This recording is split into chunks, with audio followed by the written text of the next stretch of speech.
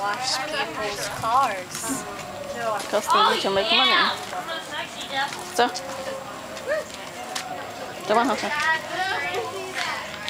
You want to take the baby? I just want to ask. Um,